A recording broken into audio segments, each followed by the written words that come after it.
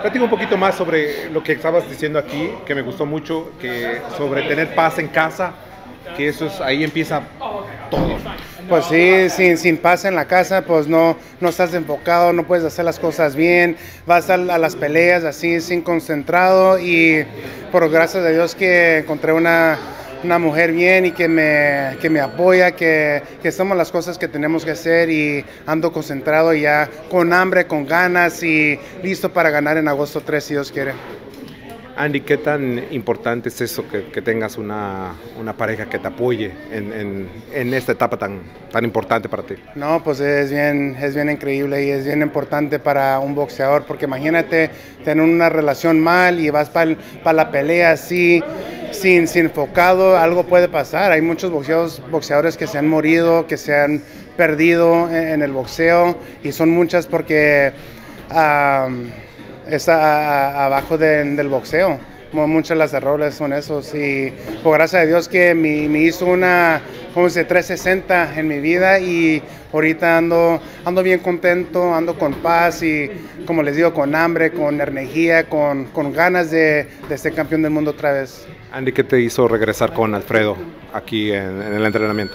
Pues Alfredo siempre me ha ayudado, me, siempre me ha ayudado y es alguien que siempre me anda apoyando, siempre me anda pushando para entrenar más, para, pues para ser campeón del mundo, porque si me va bien a mí, me, le va bien a, a, a, mi, a mi gente y mi, mi equipo. So, tengo que entrenar bien porque si boxeo me puede cambiar la vida a mí, le puedo cambiar la vida a, a mi equipo también. ¿Qué puedes decir de tu carro con el, con el que te vimos llegar?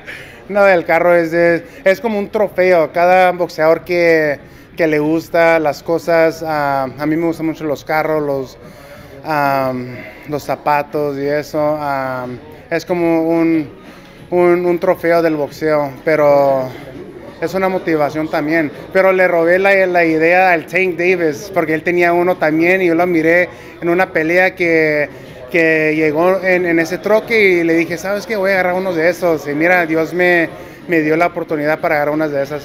Andy, ¿qué nos puedes decir de tu rancho ahí en San Diego? Pues en mi rancho los, los invito, si cuando quieren ir para pa la otra semana, voy a, a, decir a todos los reporteros que vayan y que me miren a entrenar y lo que yo hago en un día de entrenamiento y de descanso y lo que hago para agarrar paz también. Y pues ahí tengo todos los animales, las motos, um, una tranquilidad y está bien bonito.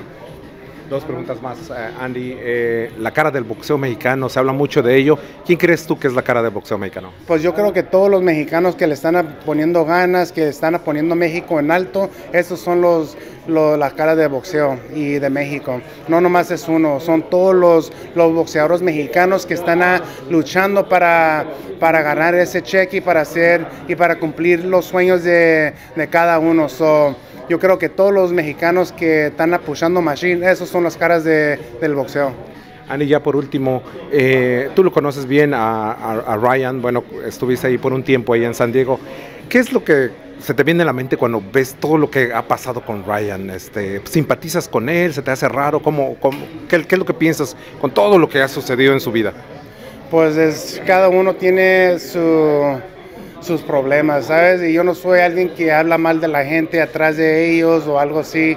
Yo nomás le pido a Dios que le ayude y que, y que contra Dios otra vez, porque Él es el único que te puede cambiar y, y sobrevivir lo que Él está pasando. So, yo le oro que, que le sigue y que tiene un futuro bien, bien grande, está bien joven. So, Ryan García, levántate, man, tú sí puedes, pídele a Dios que, que te cambie y Él te va a cambiar, man.